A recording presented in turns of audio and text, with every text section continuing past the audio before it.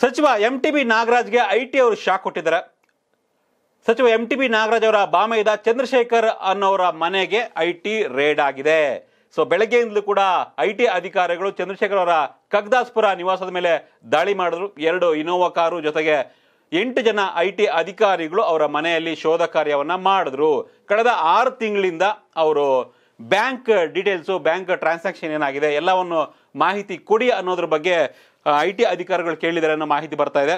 So ಕಳೆದ ಎರಡು ಮೂರು ದಿನಗಳ ಹಿಂದಷ್ಟೇ ಎಂ ಟಿ ಬಿ ನಾಗರಾಜ್ ಒಂದು ವಿವಾದಾತ್ಮಕ ಹೇಳಿಕೆಯನ್ನು ಕೊಟ್ಟಿದ್ರು. ಅದೇನಪ್ಪ ಅಂದ್ರೆ, ಏನು, ಸರ್ಕಲ್ ಇನ್ಸ್ಪೆಕ್ಟರ್ ನಂದೀಶ್ ಅವರ ಹೃದಯಾಘಾತದಿಂದ ಸಾವನ್ನಪ್ಪಿದ್ರು. ಅವರ ಒಂದು ಕಾರ್ಯಕ್ಕೆ ಸಾಂತ್ವನ ಹೇಳೋದಕ್ಕೆ ಅವ್ರ ಮನೆಗೆ ಬರ್ತಾ ಇರ್ತಕ್ಕಂಥ ಟೈಮಲ್ಲಿ ಎಪ್ಪತ್ತು ಲಕ್ಷ, ಎಂಬತ್ತು ಲಕ್ಷ ಕೊಟ್ಟು ಪೋಸ್ಟಿಂಗ್ ಹಾಕ್ಸ್ಕೊಂಡ್ರೆ ಹೃದಯಾಘಾತ ಆಗದೆ ಇನ್ನೇನಾಗುತ್ತೆ ಅನ್ನೋ ಒಂದು ಒಂದು ಮಾತನ್ನು ಆಡಿದ್ರು. ಅದು ತುಂಬ ವೈರಲ್ ಆಗಿತ್ತು ಯೋಗೀಶ್.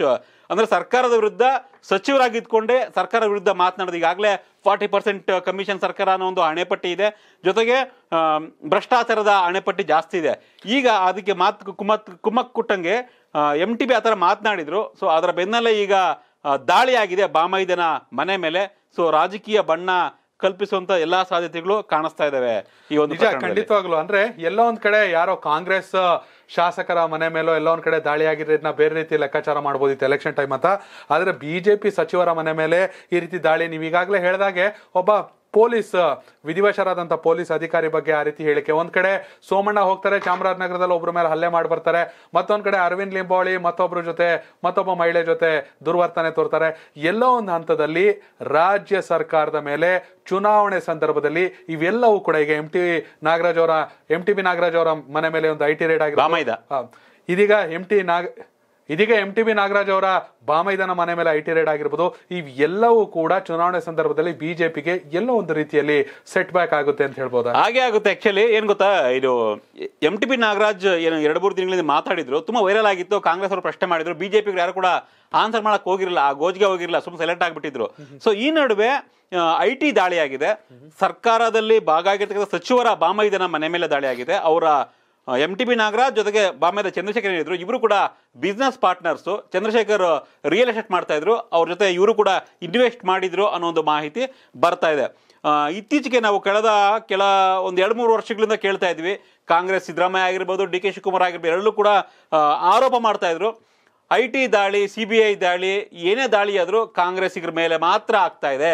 ಯಾಕೆ ಬಿಜೆಪಿ ತಪ್ಪು ಮಾಡಿಲ್ವಾ? ಎಲ್ಲೂ ಬಿಜೆಪಿ ಯಾರು ಬಿಸ್ನೆಸ್ ಮಾಡ್ತಿಲ್ವಾ? ಅವ್ರ ಕುಟುಂಬ ಯಾರು ಕೂಡ ಬಿಸ್ನೆಸ್ಸೇ ಮಾಡಲ್ವಾ? ಯಾಕೆ ರೈಡ್ ಆಗ್ತಾ ಇಲ್ಲ ಅನ್ನೋ ಒಂದು ಪ್ರಶ್ನೆಯನ್ನ ಡಿ ಕೆ ಶಿವಕುಮಾರ್ ಸಿದ್ದರಾಮಯ್ಯ ಅವರು ಕೂಡ ಸಾಕಷ್ಟು ಬಾರಿ ಪ್ರಶ್ನೆಯನ್ನ ಮಾಡಿದ್ರು. ಇವತ್ತಿನ ದಾಳಿ ಏನಿದೆ? ರಾಜ್ಯ ಸರ್ಕಾರದ ಭಾಗ ಆಗಿರ್ತಕ್ಕಂಥ ಸಚಿವರ ಬಾಮೈದ ಅಂದ್ರೆ ಅವ್ರ ಮನೆ ಮೇಲೆ ಆದಂಗೆ ಲೆಕ್ಕ ಒಂದ್ ರೀತಿ.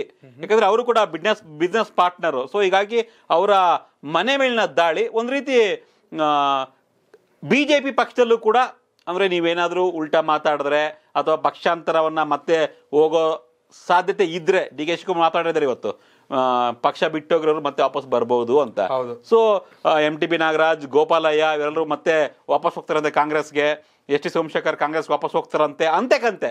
ಇದು ನಾವು ಹೇಳ್ತಿರೋದಲ್ಲ ರಾಜಕೀಯ ವಲಯದಲ್ಲಿ ಆ ರೀತಿಯ ಚರ್ಚೆ ಆಗ್ತಾ ಇದೆ. ಬಂದಿರೋರು ಪುನಃ ಹೋಗ್ತೀರಾ ಅಂದ್ರೆ ಯೋಚನೆ ಮಾಡಿ ಯೋಚನೆ ಮಾಡಿ. ವಾರ್ನಿಂಗ್. ಎಸ್ ಆ ತರ ಒಂದು ಚರ್ಚೆ ಆಗ್ತಿದೆ. ಸೋಷಿಯಲ್ ಮೀಡಿಯಾದಲ್ಲಿ ಮತ್ತೆ ರಾಜಕೀಯ ವಲಯದಲ್ಲಿ ಇವತ್ತೇನು ದಾಳಿ ಆಯ್ತು ಅದು ದಾಳಿ ಆದ ತಕ್ಷಣ ಇವತ್ತು ಚರ್ಚೆ ಆಗ್ತಿರ್ತಕ್ಕಂತ ಮಾತಿದೆ. ನೀವು ಹೇಳದಂತೆ ಹೋಗೋಕ್ಕೂ ಮುಂಚೆ ಎಚ್ಚರ ಆಗಿರಿ. ಇದು ಸ್ಯಾಂಪಲ್ ಅಷ್ಟೇ ಅನ್ನೋ ರೀತಿಯ ಚರ್ಚೆ ಆಗ್ತಿದೆ. ಒಂದು ರಾಜಕೀಯ ಬಣ್ಣ ಸಿಗಬಹುದು. ಎಲೆಕ್ಷನ್ ಹತ್ರ ಬರ್ತಿರೋದ್ರಿಂದ ಈ ಒಂದು ಪ್ರಕರಣಕ್ಕೆ ರಾಜಕೀಯ ಬಣ್ಣ ಸಿಗಬಹುದು. ನೋಡೋಣ. ಬಿಜೆಪಿ ಗೌರ್ಮೆಂಟ್ ಅವರು ಸಿಎಂ ಅವರು ಜೊತೆಗೆ ಎಂ ಟಿ ಬಿ ನಾಗರಾಜ್ ಇದಕ್ಕೆ ಯಾವ ಥರ ರಿಯಾಕ್ಟ್ ಮಾಡ್ತಾರೆ ಅಂತ.